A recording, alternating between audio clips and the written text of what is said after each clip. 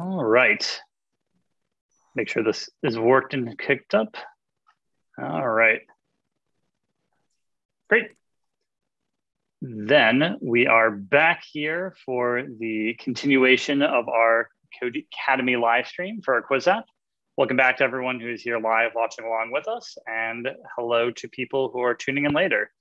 Uh, if you want to catch up with where we've been so far, the link that is in chat right now is a link to the version of the project where we have ended up with last time. So I'll go ahead and link that out here. So if you'd like to follow along by looking at the code, you can feel free to go ahead and follow along with that there. If you'd like instead to follow along by just watching and piecing it together, you're welcome to do that too. So uh, without further ado, let's go ahead and get back into it here. So let's take a look at where we ended up last time and the problem that we were trying to solve. So where we ended up, we had our application in a state like this here. So we built out our initial quiz application. We had built out some of the controls that we could kind of play around with to get to see some of the other options. So we ended our session with that last time. Uh, and we built out some of the basic logic that would let us tell learners of users of our application whether or not they got something right or not as they're working through it. So let's take a quick look at where we ended up. So we have here asking what the first computer bug is. We select, in this case, the moth. We get a green because that's what it is. And then we get a bar showing up here that doesn't do anything. And if we collect, select something that's not the right answer, it turns up red instead. So a great start to our quiz app, uh, but we don't yet have a full game out of this. So what we have so far is a way to showcase individual quiz questions to people who are using our application. But there's a few things that we have missing. As we stop, as we are just talking about, we'd love to be able to click on this next button and have something show up so that we can transition to the next question, have the text here change to two out of four, have this question update, have all these clear out and have these answer choices update as well. And that's what we're going to be doing in the session today is figuring out how we can use the concept of a view model, which we'll talk about in a little bit, to build out a more fully featured game that can present multiple different questions. So let's go ahead and get started. First with the easy task of making it so that this thing here is at least a button instead of just being a block of text. Now that's pretty easy to do with SwiftUI. So let's go ahead into our bottom text. And right now we can see that this is just text. We'd love for this to be a button instead so that we can click on it. We can do that by just adding in a button here. And then we can see that the initializer for button takes in an action and a label. Maybe we don't know what the action is yet, but our label can just be this text that we had made up down here. For action, we can just say, uh, say print hi. We'll figure out something to do with it. And now we can see that this should build and compile. And then we get a button here. We can see it turning blue instead. Now, it's not going to do much yet. It's just printing hi, And that will only actually happen once we have it hooked up in the simulator, as we saw before. But now it's a button and we see that we can click on it. Let's do one other thing with this. And we'll do the same kind of trick that we saw inside the game view. Uh, we had an answer button here and we had this on click property, which let us decide we didn't know what we're doing with it yet and then pass in something new. And hey, the question in chat, uh, Tka, uh, this is uh, Swift actually, which does look very similar to Kotlin. Uh, Swift is used for building iOS applications. Uh, okay, so let's go ahead and then add in the on click here. So we can say on click is going to be something that we'll get passed in later. And then we can go ahead and specify that action here. Once we add this as a property, it's going to tell us anywhere we use this bottom text. So we need to specify what we want it to do, just like it's a button. So we can go ahead and fix that here. We'll have, I think, one more place where this is going, and we'll go ahead and clear that too. And hello from Uganda. That is exciting. I hope, uh, hope you're ready to learn some iOS development stuff here as we continue adding some features to our game. Okay, so now we fix that. We have a place where we can be adding uh, to our bottom text. Now has a little button inside it as well that we can pass some functionality into. Uh, great. So now let's get back to that central question. We have our game. Uh, we can see it inside this tab view if we like, but our game doesn't really accomplish anything. We can see one question, which is great, but it can only ask one question. And we really want to have multiple different questions that we can be presenting. A single question isn't actually powerful enough in our game view. We want our game view to be powered not just by one question, but to be powered by an entire game, a whole list of different questions that we can be presenting to the user as they're navigating through it. In order to do that, we're going to want to go ahead and add a game object, another model, which is going to represent all of the questions and set the way that the users can interact with our application. So let's go ahead and do that first. Inside models, we're going to make a new model, which is going to represent the whole game that we're working with. So to make a new file here, you can right click on models, click on new file. We're going to make a Swift file. And then this is going to be our game. So we have a game class that we're building here. Now, what is a game? Well, in this case, it's a list of all of the different questions and figuring out how users can navigate through them and get informed if they're right or wrong. Uh, and hey, the new person late to the broadcast, good to see you here. We're building out a quiz application for an IO for iOS. Oh yeah, and the software for this is Xcode, which you can download on Macs. Okay, so on our game, we need to have a list of questions that are available here. So let's go ahead and give our game the questions we're gonna use. Our question that we built out before has this static property, which is all the questions that we're gonna have in our game. So we can go ahead and give our game those questions as its starting questions. And because it might be nice if uh, the game was a little bit different each time, we can just go ahead and shuffle it so that every time the order is a little bit different. So they're presented in different order, which is the same thing that Academy does on our platform as well. Just shuffle those quizzes, those quiz questions. Okay, so we have the questions that we're marching through, which is good. Now we have some concept of multiple questions, um, but we still need to have a current question and a way through advancing them. To represent that, what we can do is we can have an index, which we're using to store which question that we're currently on. We want to start at the first question and move through each question until the user is done with it. So we're going to go ahead and make our current question index, which tracks what question are we on right now. We want to start at question zero because arrays start at zero for, for development. So this is our current question index. And then we can give ourselves a little bit of a convenience property here to say, what's the current question we're on? We could write out anytime we wanted that, like questions at this index. So let's just make a little helper uh, property to give us that here. So that's current question, which is going to be the current question index inside of our questions array here. So we're starting to build out our game to capture the information that we need in order to have the questions that we're able to answer in order for the users. Okay, so we have these here, which is a great start. And now the last thing that we're gonna need is a way of advancing our game state. How do we get to the next question? Once the user is ready to see the next question, they've tapped on that next button, we'll need to update our game that that happens. So we're gonna make a method here called advance game state. And this is going to go to the next question.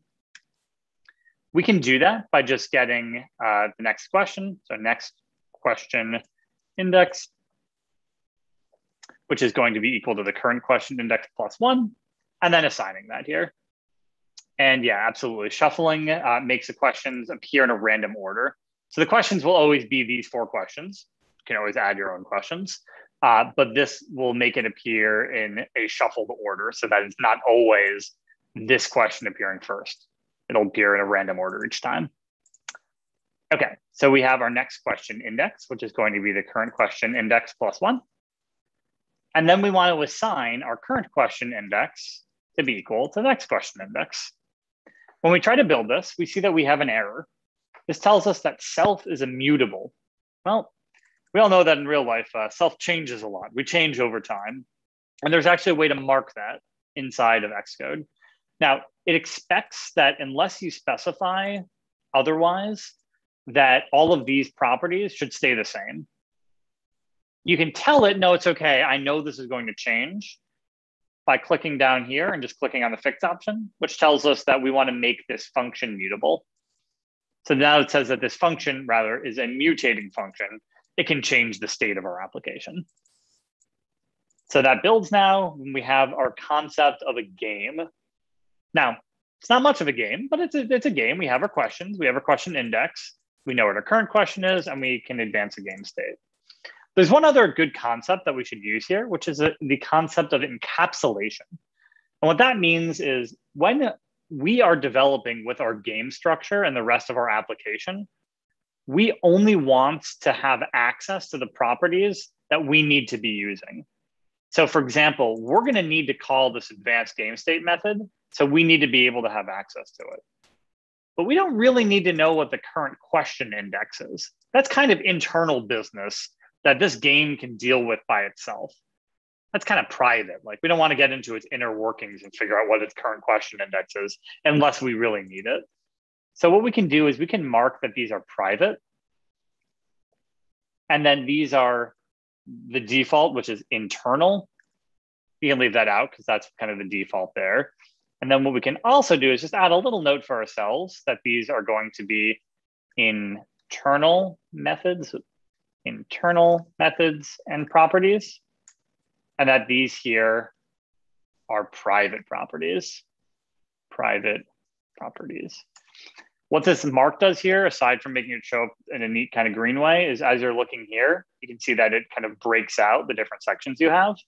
And if you're using, uh, there's this mini map option here. And you can see that these marks are added really big, so it's really easy to find at a glance. Our files are still pretty short right now, but occasionally you might be working with files that are dozens or well, hundreds or thousands of lines long and it can, can get really easy to get lost for what's where. So adding these what are called pragma marks can be an easy way to find things that you're looking for. Okay, so now we have our game. Now, how do we work with our game? We could go to our game view and then just start making a game and working with the game directly. However, there's a general design principle when building iOS applications that tells us that that's not such a good idea.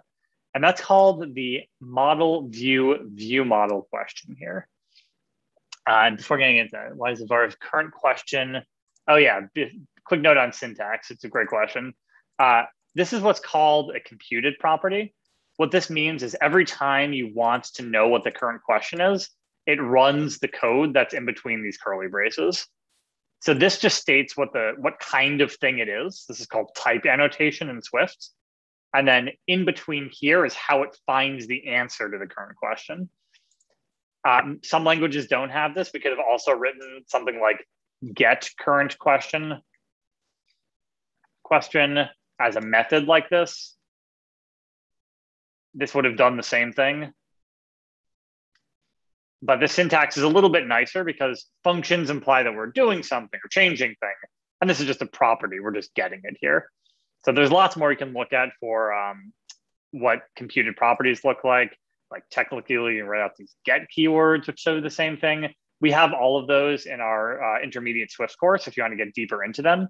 For now, the important thing to get from it is that it's just a way of accessing the current question. And then this is type annotation to talk about what it is. It's a great question, though. Uh, and the reason why we can't do equals is because it changes over time. If we said current question index with an equal sign, and then this index changed later, our current question would still be stuck in the past. So we have to recompute it each time someone asks for it because the current question index might be different. Okay, so now that we've gone and built our game out here, we're talking about how to integrate it with the rest of our application. Now, the general design principle to touch on briefly is called a MVVM architecture, which stands for model, view model, and view. So MVVM, model, view, view model as architecture. The general way that you describe building an application is we have our views, which we can see up here. And our views are all things that users can see, tap on, and work with directly. They're where information gets presented to users and where the capture intents from users, like if they tap on a button or enter text in or take a photo or something. Our models, as we've seen, are where the business logic and data are housed. So this is kind of the business logic, like our questions for application or our core logic about how to advance through the game as we're playing it. Now, how can we relate the game and the game view? If we just put it in directly, our game would be very tightly coupled to what our game view needs. It might have specific things that we need in our iOS application that maybe other people wouldn't need as much. The idea when you're building models is that they should be reusable in lots of different contexts. This question that we've built works great in our iOS application, but it would also work in a command line application. There's no reason why we have to be presenting things visually with this model here. Maybe we want to build a text-based version of our application. We could still use the same question model. It doesn't use any views. It's not talking about anything that the that learners or users of the app can see. So we want our, our each of our uh, models to be reusable in a lot of different contexts. But that means we still have to do the work of translating these abstract businessy data concepts into views that we can actually see. While the view could do it itself, it would get really bloated pretty quickly because there's going to be some logic it needs to take care of. So what we need to do instead is build an intermediate layer called the view model, which is responsible for taking in information from the model and then communicating it to the view. And so this is uh, the new style of architecture that's used for SwiftUI. You might also see MVC or model view controller architecture in older applications, but this is a really clean and elegant way to divide out different pieces of your application. So the work our view model does is it gets bound to our view. So as the view model changes, our view is going to go ahead and update automatically, which is super convenient. And we can keep our model this kind of pure business abstracted layer, which we don't have to worry about bleeding in any sort of view logic into it. It just gets to know what the state is of our game at any given time. Okay, so that's very theoretical. That's kind of like what view models are for. What does that actually look like in practice? Let's go ahead and take a look. We want to build a new directory here. We have our views, we have our models. Let's build that view models layer where we can be housing those. Uh, we can do that first by making a file, which is going to represent our game view model, which is still just going to be a Swift file, game view model. And we're going to go ahead and give it its own directory here, which is going to be view models. Uh, generally good to not have spaces in your names. It'll work most of the time, but occasionally you might get some weird errors from it. Okay, and then what we could do is we could even reorder these so it matches our MVVM style. So we can have our models. It can also be really hard to like get this in the right spot when you're dragging it. Takes a, takes a bit of finesse. Okay, how's that? Almost, almost. All right, so we've got our models, our views, and our view models. We can expand those out again. Okay, now what is our game view model gonna do? Well, we know it needs to relate between our uh, game view and between our game model. We're going to make this a class, and we'll see why in a little bit here. The classes are very similar to structures, but there's a key difference we'll get into in a second.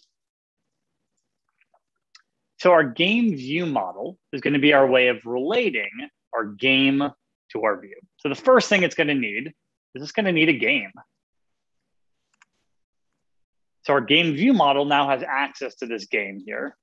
Now our view is not actually going to have access to a game. So anything that the view needs to do it has to go through the view model. It's the gatekeeper to any of the logic that we're interested in. So uh, what does it need to do? Well, we can start figuring that out by going into the game view. And I'm going to open this up side by side. Uh, if you hold down Option and then click on a file, it'll open it up uh, side by side next to it, which is pretty neat. And open up our game view here. We'll not to, nothing's to look different for a little bit. So we're just to go ahead and hide that. And now we can see we have our game view over here on the right, and we've got our game view model over here on the left. So we really don't want this to just be a question anymore. Our game view needs to display the whole game. It's not just for displaying a single question. So what we're to do is something dramatic. We're to go ahead and delete this question, replace it with a game view model, and then see a lot of different errors that we see. So let's go ahead and take a look. So let's go ahead and make our view model, view model, and make that a game view model. And we can just make a new one with it and get rid of our question entirely.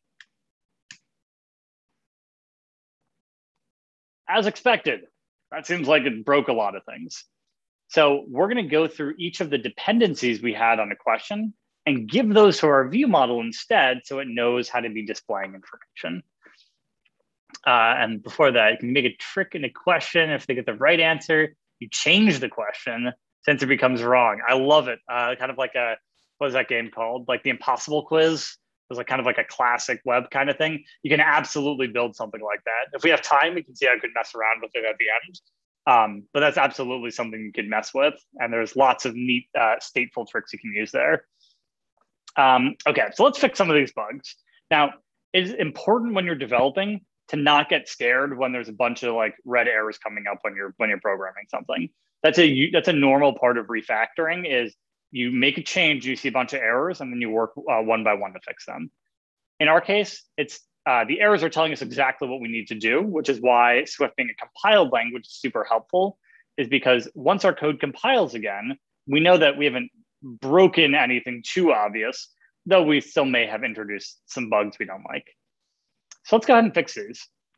We know that we need to get the questions text as the first thing we're displaying. Well, we need to get the question from here. So let's go ahead and get access to that. So we're gonna need the, uh, to get the question from the game here, from the game view model. So we can go ahead and copy, we can just say this here. So we, want, yeah, so we want to go ahead and have the question text. Question text, and this is just a string. Games have a current question, and questions have question text. So now instead of having this single question, we're going all the way back to the game through the view model to figure out what the text should be. So here we can replace this with view model dot question text.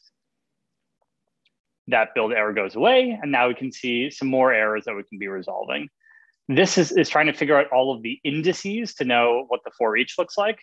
We can grab those too. So we can say answer indices uh, and the type of this is kind of a range of integers, all of the in indices that can show up.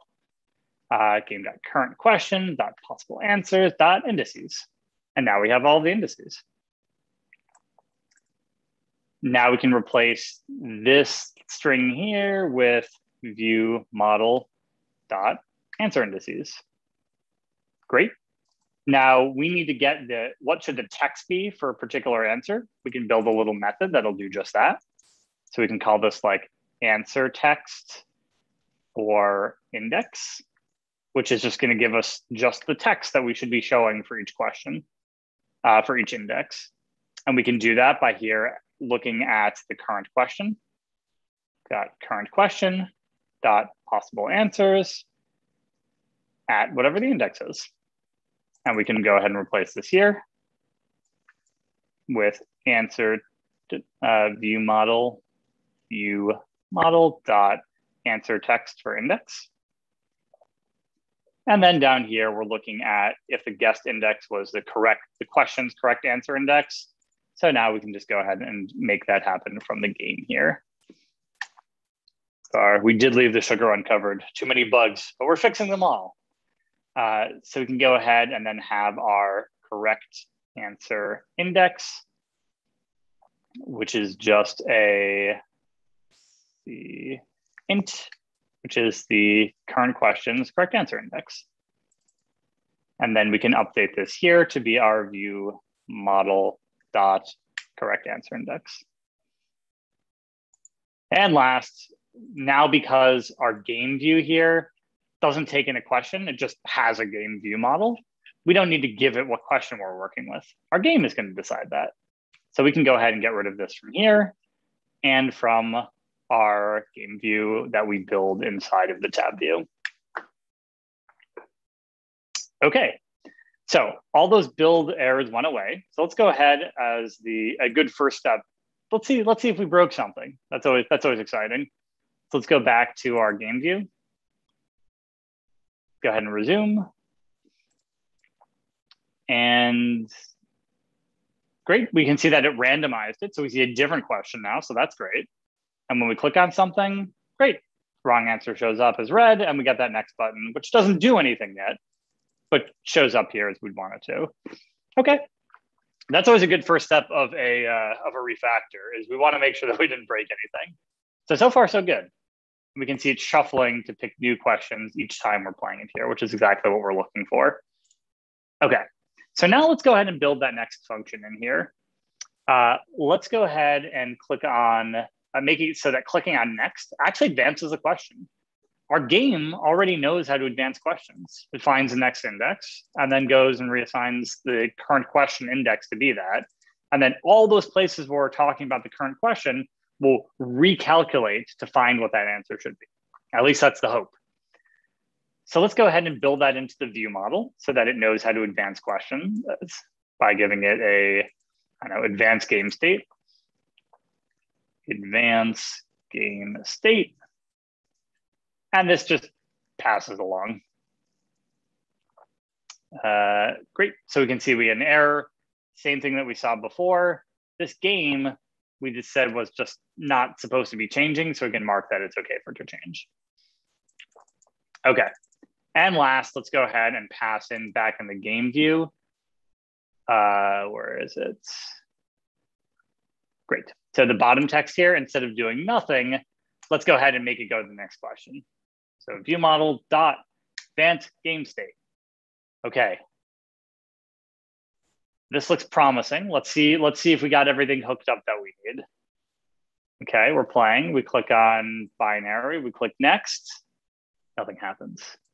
Now, we got almost everything hooked up, but there's one really crucial concept uh, that we need to be using to make sure things are updating. Remember when before we had the index and we weren't allowed to change it unless it was marked as state? There's something very similar happening here. Just like we need to mark things state so that SwiftUI knows to update things when they change. We need to do something like that here our view model is definitely changing. Things are things are things are happening. We're clicking on the button. We are advancing our game state, and we can parse that out. We can kind of prove that, so to speak, by using some breakpoints.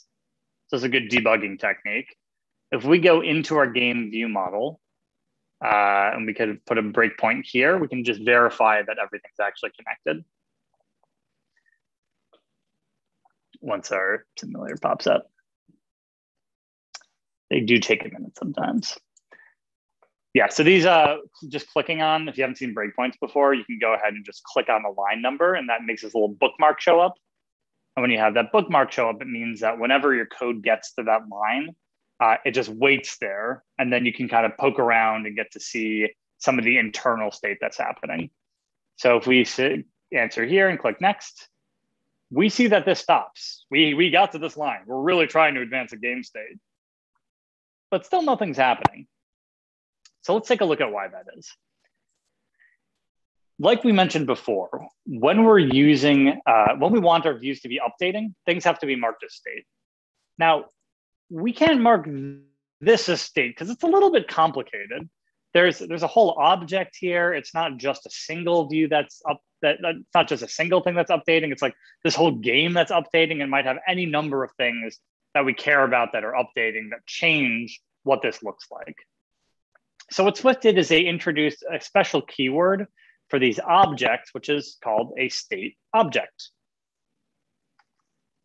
That's the marker we want to have here. State objects can change, so they need to be variables, changing things and not let constants. Now the problem is that we can only have observable objects as things that we have marked as state objects. The reason for that is because things that are marked as observable objects, SwiftUI knows that they can change and knows to update people when they change. So we need to go back into our game view model and mark that it's an observable object. Now we've, this should compile.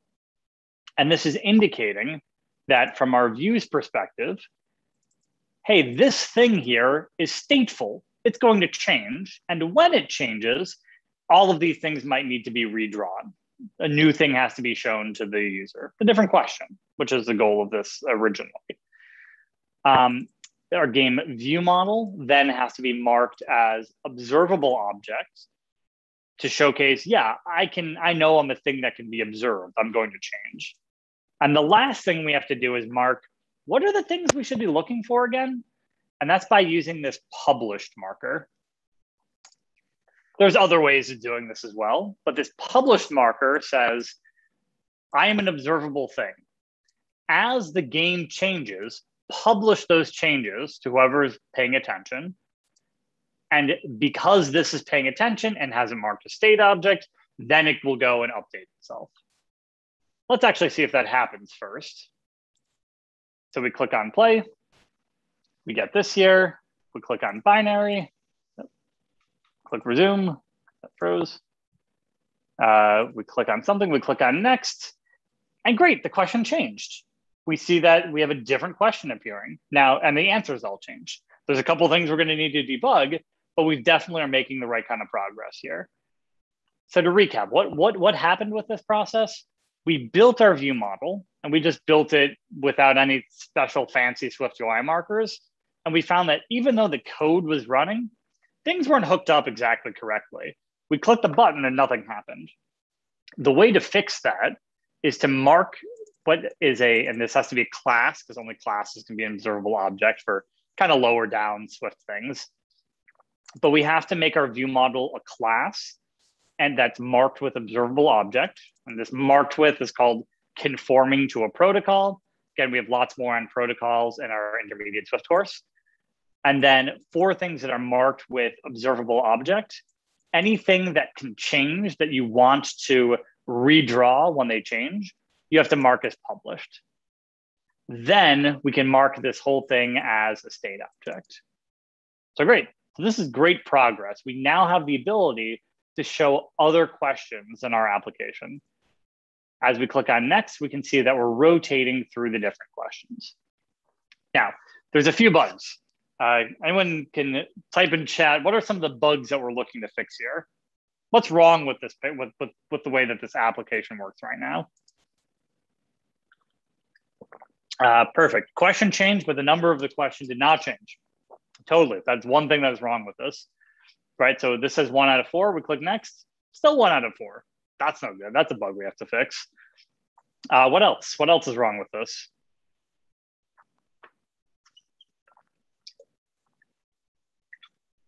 It's definitely got to fix that one out of four thing. But there's something a little weird happening too once we click the next button, right? You can see that we're clicking next.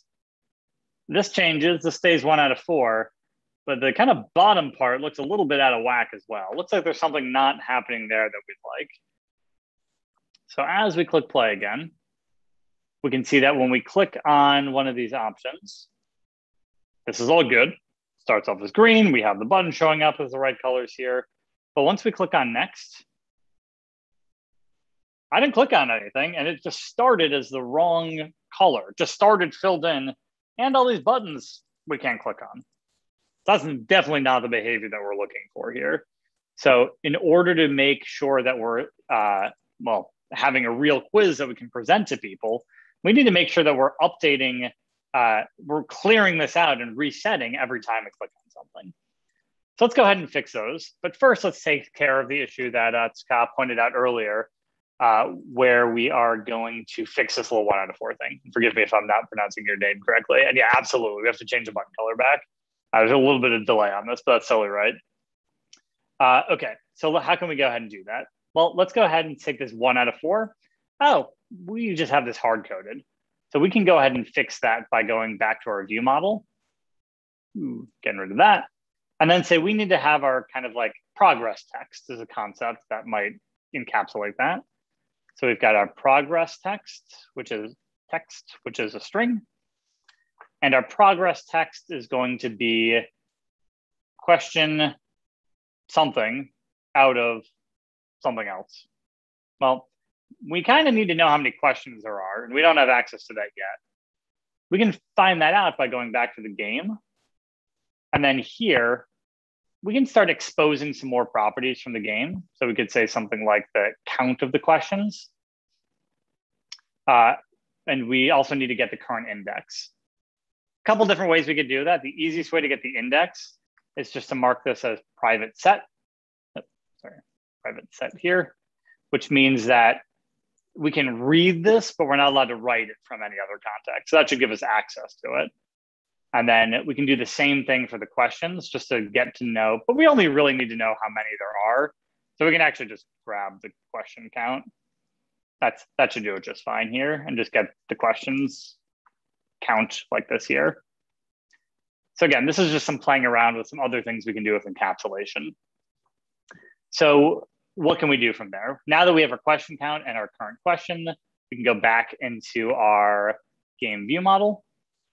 And we can say that this is not question X, it is question uh, game dot current question index out of, we could say it's out of four, but maybe we add more questions. We want to have to want to have to remember each time to be adding, to be changing this around as we added more questions. So now we can just grab it from our question count for what the progress text should look like. Okay, then we can go ahead and build. We can see that that updates, which is great. Let's go ahead and see if we fix that bug before getting into the, the, the real serious one of the, where the resetting is not working. So we stop, we resume because we made a bunch of model changes. We play. All right, we see first computer bug. And now, hmm, what do we miss? Let's see. So we've got our view models, current question text. Actually, what did we miss? It's an interesting question. Okay, so that still says one out of four, and we're expecting it. Oh, well, it's right here. We didn't change our, our view. So we can go ahead then and make sure that our view is reading from our view model correctly. So view model dot progress text. That's why it's always good to make sure that you're testing things as you're developing them, because you might not actually be implementing things in the way that you think you are. Again, very normal process for development is things don't work. How can we fix them? Now this is almost right. We can see that this is zero out of four. Now again, that's because arrays started zero. So we can fix that by just adding one to it inside of our view model, just like so. Now when we go back to our game view, and resumed because we updated our model, our view model rather. Now we can see that it has the correct number here. And as we play, we see that it's going to correctly update to the second question. Okay, so solve the first part of that. We fixed this, we're reading from the game, we can advance through the questions correctly. Great, let's go ahead and work on the resetting part. Now, there's a lot going on for the resettings, and part of the problem is all the resetting code is just owned by the view. It keeps track of our guessed index and it figures out what the color is. Now, we could try to do some messy things inside our view by like resetting this to nil each time that someone guessed and doing that in the button and then setting it back again. But that's a little bit messy. And that's messy because maybe we want to have a feature where we could like go back and look at previous questions um, voice recognition would be fantastic. It's, uh, we'll, we'll see if we have time for that at the end. Uh, making no promises, but that'd be fun. Uh, Siri integration. Uh, yeah, so, but let's, so the reason we want to have the index not inside of our view is maybe we'll want to keep track of this for later on. So let's go ahead and add that to our game. we would love for our game to keep track of the guesses that have been made for each question. Now, how can we do that? Well, inside of our game, we can make a new private property that's representing guesses that have been made. So private var guesses. And this type is going to be a dictionary where the keys are the get are the question, and the uh, value is what index they guessed for that particular question. Uh, I believe we have content on dictionaries in our uh, kind of learn Swift course. So if that's a new concept, you should go ahead and read some more on dictionaries there. They're also called maps or hash maps in many other languages. But the idea is we want a way that you give a, a question in and we tell you what the guess index was, or if it was nil, if no guess was made. So we're gonna want a type that maps a guess to an integer. Now it's gonna complain a little bit. And it's complaining because, uh, well, I guess isn't a thing. We want a question. it, it's going to complain because it doesn't know how to have questions be keys. This is a little bit more in depth of how hash maps work, but the basic idea is the things at the beginning have to be hashable, which means you need to find a way to turn a question into a single number so you can go ahead and put it into an array. That's what hashing is. It's a way of turning really complicated things into numbers like if you've been following any of the Apple features about uh, detecting inappropriate images on people's phones, there's a lot of talk about the hashing that they're using for it. And that's because hashing is a way of transforming an image into a single number so then you can do things with that number and compare it or store it. So we can mark that this is hashable. And here tells us exactly, the compiler is very helpful, telling us exactly why this isn't working. Uh, we can do that by just adding this keyword right next to our question. So our question is now hashable. Because this is a fairly simple structure, Swift can figure out on its own. Yeah, so it, we don't have to worry about it. Is really the is really the beauty of it. Swift is figuring out on its own how to be turning this into a number and storing it. We don't have to worry about the process that it's using to do that. Uh, if our structure was more complicated, we would need to add in a special uh, bit of command like a hash into, hash value, and hash into. And we'd have to define these and tell it, hey, how do you turn things into numbers? And here, and how do you get the number back from the original thing? But because this is simple enough, Swift will do that for us automatically. And the real in-depth answer is it's it's not just turning in a number and storing it. The way hash maps work is that there's like an underlying array or list we turn it into a number and then we kind of count buckets in the list until we get back to kind of like duck duck go You're just kind of counting one by one until you get to the spot that it should put it at, and then you slot it in there. So lots more on hash maps and on dictionaries on Codecademy platform, but the basic idea is we want to get a map here, uh, and Hashable will let us do that. Uh, so back in our game, we now have a place to be storing our guesses, which is great. Uh, then we can go ahead and give a function so that the user can make a guess. And make a guess at an index. We're gonna make it simple and just always, you're only able to guess for current questions. Uh, if there was a different, we need to go back and change guesses around, we could add that in that functionality later. Uh, so we can go ahead and make our guess at the current question and set it equal to whatever the guessed index was right here. Then in our view model, we're going to need to have a way to make a guess and to translate that in. Now, our game view still has this guessed index. We don't want this anymore. The guessed index should be only part of our view model and our game model, but it shouldn't be part of our view. We can do the same thing we did before. Let's open up our view model side by side. Let's just get rid of this. And now let's figure out what we needed it for. Okay. So one thing that we needed to do is we just set the guessed index here directly. Now that we know our, uh, now that we have this make guess, we can go ahead and add that to our model. So we'll call this make guess for current question at index. And then this will just go ahead and tell our game to make a guess at the index. So we can go ahead and tell our view model to make a guess for the current question index, and it will just go ahead and do that. We also have this thing that we're checking for if the guessed index isn't nil. This has always been a little bit clunky. It would be great to have a concept here to have uh, a variable called something like guess was made. Uh, what's the point of guessing? Oh, it's a great question. So to clarify, when I'm talking about guesses here, I mean as a user who taps on a button, that's the act of making a guess. So if we're looking at the application, which I can bring up here, uh, well, this doesn't compile right now, which is slightly unfortunate.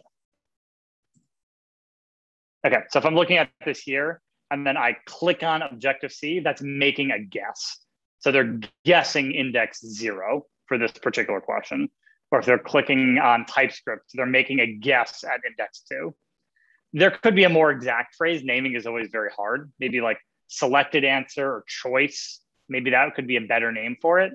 Um, but we've been using the phrase guess to kind of refer to how people are using it, which now that you mention it is, is not necessarily assuming the best of users of our application. Uh, so maybe, maybe choice is a much better concept. Let's go ahead and fix it first just to get it compiling, and then we can change the name around because that's an excellent point. Uh, we'd like people to be making choices rather than guesses. They should, they should have some idea of what they're doing, hopefully. But let's go ahead and fix these errors first. So when we talk about guessed index or chosen index or selected index, which might be better names for it, we're checking to see if they made a guess or if they made a choice. So we can make a variable to represent that here. We call this something like guess was made. And this is a bool, it's either yes or no. And the answer to it is if the guess at this index isn't nil. Now, in our game, we made this private. We can do the same thing here where we can get access to it, but we can't change it. Only the game can actually change the guesses. So then we can go back and ask our game at the guesses. Yeah, selected choice is better. We're actually going to change that afterwards. I just want to fix these errors first here. It's a really good point. So we have game.guesses at, what is it, the current question index. Uh, current question index here. Or actually, sorry, we actually have a um, guesses is by question. So we have our current question. Do, actually, we don't have a current question. That's it. We just got it from game dot questions, which we also don't have. All right, so we need to, to get the current question then so we can be passing it in here. So let's go back to our game. And it's a lot of negotiation. Oh, we do have a current question. Okay, cool. So we can go ahead, I don't know why that wasn't showing up, and take our game.guesses at game.current question, like so. And then we want to make sure that this isn't nil. Cool. So now we can go ahead and use this guess was made, which is much more descriptive. And to say it's if a guess was made, then display this. So that's all pretty straightforward. And then the last thing we have to do is take this color for button and figure out how to fix this here. Oh, and of course, these are view model properties. So we just have to add that in. Okay, so then our last step here is we're gonna wanna take this color for button and we're gonna wanna move it essentially all into the view model. Uh, the view could own this. We could have a way of translating the color back and forth, but it's probably gonna be simpler to just relate it here and have the view model tell us what the color should be. So we're just gonna go ahead and get rid of this from here move this into our view model. Note here that our view model uh, just had foundation. It's going to complain because it doesn't know what a color is. So we can do that by importing SwiftUI instead. Uh, SwiftUI. It's a great question. This is directly from my mind. I, I, I if, if only I, I have built this out before as a way of preparing for it. It takes a lot of practice before you can build out something fluently here. So I wouldn't expect anyone really to be ever to kind of have everything in place the first time and just put it together. Usually you have to build something out a few times to get a good sense of it. It's a good question though. Okay, so now we can go here and figure out how to fix this guessed index. And this guessed index, uh, we can now grab from our guesses here. So we can do the same thing and grab this guess like so. And then we just have the correct answer index already here. Great, so now we have our color for button. And then the last thing that we can do is put in that this is a view model property instead. Okay, there's a little bit of debate about whether the view model should have SwiftUI in it at all. It could still make sense to leave this inside the view. That wouldn't be necessarily wrong. It's just different ways of organizing it. Okay, so everything compiles again, which means this is a good time to see if we broke something. So let's go ahead and put up our canvas here, resume, let it reload again, and go and play. Okay, so we can see here that as we click on things, synchronously, we click next, and it clears out. It works. We, oh, hopefully it works. It works. So as we keep clicking on things, we can go ahead and see that our game is updating and our view model is also updating to reflect these changes now. Because our uh, guesses are stored inside of our game, instead of inside of the view, now this doesn't have to worry about where we are. It's all the game view model's responsibility, which is a great thing to have so that our views can be simple and not have to worry about more than just how do I show information and how do I collect information. Uh, so let's go ahead and make that last change while we're looking at it.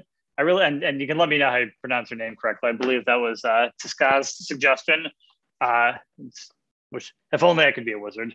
Uh, but for how we can go ahead and update uh, the naming convention we're using internally, I agree. I think that guesses is a worse name than maybe selection. I think selection might be a better name.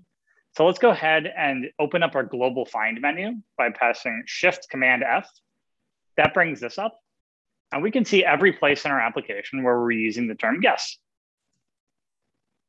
Now we can do the simple answer of if we click on this find and put it down to replace, we can just replace guess with selection. We can say match case here, and that will get rid of all the capital ones. Ignoring case will bring in uh, all of them here. So let's go ahead and see. So if we're searching, we want to change all guess to selection. We can see that guesses will change to like selections a little weirdly. So let's go ahead and do this first and change guesses to selections. Uh, let's search on this. And then we can see here, we'll change this to selections. And then we can do the same thing for guess and selection.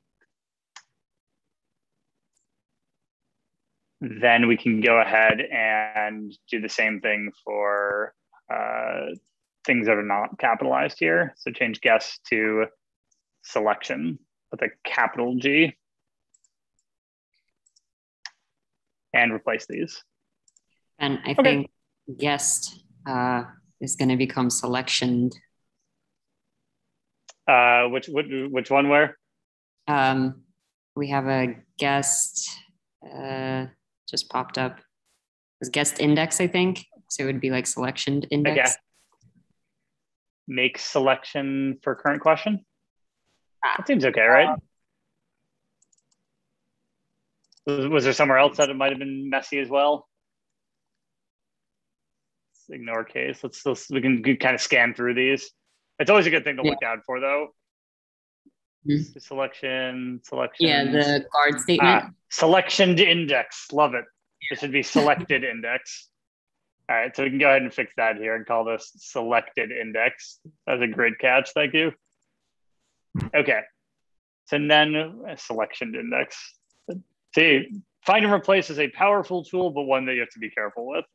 Uh, but you can see that with a little bit of tweaking there, um, this is a great place to be showing like how kind of code review can work in development environments is there is a suggestion from someone looking at code that we could have a name to make things better.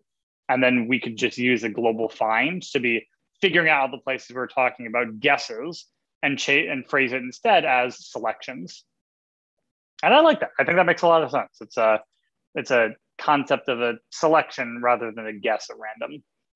So we can always change it back if we don't like it or we want to change something else. But uh, it's it's good to be names are names are hard. Names are always hard when you're when you're developing. So appreciate the suggestion from that there. And let's, uh, as always, go and make sure we didn't break anything. Okay, click on something. We made a selection. Great. Okay, so great. Okay, perfect. And let's check out the last one. Oh no, something crashed. Well, this has actually always been here. I just I just wasn't clicking through all the time. But see if you can find out why do we think this crashed right here? What's going on? Why did it crash? But a review kind of, and we can see what it looks like in a simulator as well. But the kind of question to all you is, why did this crash? See if we can figure it out. Uh, this is what's called like a runtime error. And so this is pretty bad as a user. Like imagine that this was your phone and as you are playing this quiz and happily going along and tapping on things, suddenly when you click on this next button,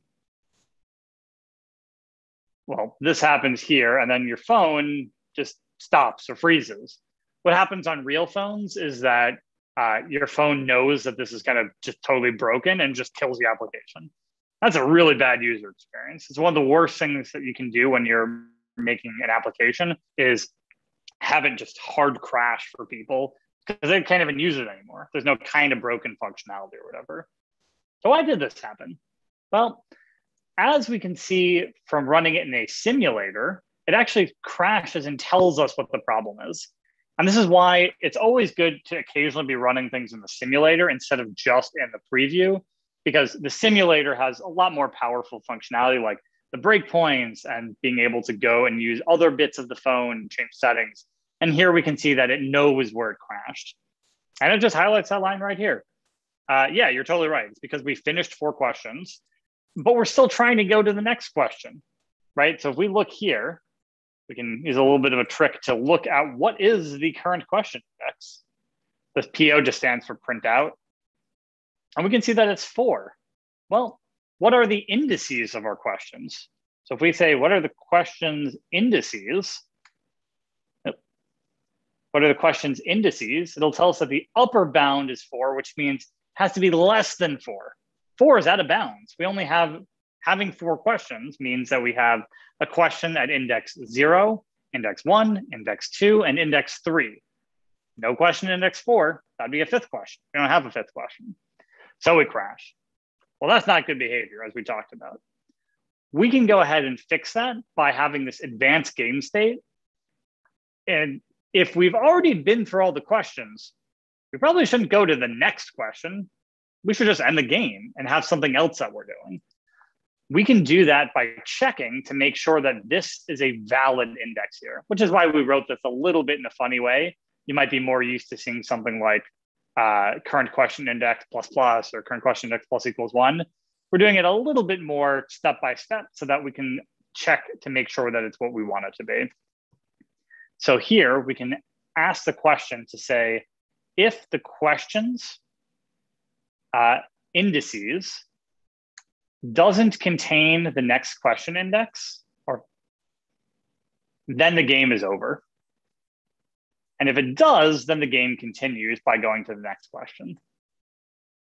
So what does it mean here for the game to be over? Well, we could just print that the game is over. Print game over. And let's see what happens now. So as we run our application, and we're doing this in the simulator so we can get those print statements, we answer questions, answer questions, oh, and game over. Great. So as we keep tapping, this is just still the game's over. It's not letting us try to advance the next question, not displaying anything else. Advancing game state no longer tries to go to the next question. And you can see how powerful all of the SwiftUI binding is, is just with that little bit of publishing, changing this index makes everything change automatically, which is really cool. Did not used to be that uh, straightforward for building iOS applications. So we can end our game here. Uh, and then let's just add a little property here just to represent whether or not the game's over. So just make a uh, game is over, which is a bool. And we can go ahead and then just set that here to be game is over is true. And this should start off as false. And then we don't need to annotate it. Okay, so now we're ending the game. It doesn't really do anything. It just kind of tells us that the game's over. But it doesn't break anymore, so that's a good sign. So that's as far as we're going to get to in this session here for our application. We'll do a little bit of recap in a second, but we can see that uh, our game ends and where we're going to end, uh, land off for for next time is saying, hey, we can advance through our quiz, which is fantastic. And we can go ahead and end the game, but nothing happens. So next time, what we're going to look is figuring out how can we transition from this game view to a different type of view entirely so that something happens once the game is over. Uh, okay, so let's do a little bit of recap to figure out how our application is working here and what we added. Uh, so let's see if we can still bring up the side-by-side -side thing. We uh, added in this game structure right here. This is all totally new, and this is our model that's representing how we're playing the game. We have our questions, we have our question index, we can have some properties that we're exposing to our view model so that it can access them. And then the big ways that we're changing it is advancing the game state to go to the next question and making a selection to go ahead and reflect the selection that the user has made. We added that in. We went and then we added in this whole game view model, which is just, we can see a way to talk from a way to bridge the gap between the view and the model. The important things to know for our view model is view models all need to be classes. They have to be marked as observable objects so that once they change, uh, they update things that need to be updated. And the thing that is going to be changing has to be marked as published. This means as the game changes, and the game changes really just by the current question index changing and the selections changing. It's kind of. That's how the game changes. It's a lot of power from just these two properties right here. Uh, but as these change, then our game goes ahead and updates, and it knows because it's marked as published that it should make available to anyone who's paying attention to it what those changes are. We mark that we're paying attention to it, that we care by inside the game view here is marked a state object, which means that as this thing changes, we know that the view should change as well. And that's how all the pieces are connected between our view, our view model, and our model. The view owns all of the views here and owns a state object view model the view model is marked as observable object. It's a class and it marks the model as published. And then the model is just a Swift structure here that owns the core business logic about how the application uh, should be should operate as the user interacts with it, what the logic should be, how how the business should change. So that's what we covered here in this section, uh, in this session that we went over.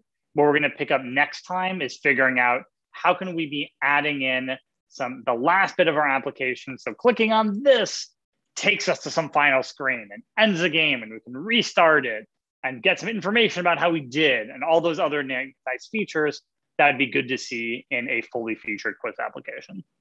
So uh, that's what we're going to cover here for today. That's what we're going to cover in for next week. Thanks everyone who tuned in live for this one, uh, or if you were able to catch up and watch the video later on.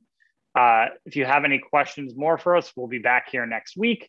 Uh, and you can also feel free to reach out to us on the Codecademy Discord or on the uh, Codecademy forums. So it was a pleasure getting to build some more applications with all of you here. Uh, and then we will see all of you here next week for what I believe will be the last session in our iOS quiz app development.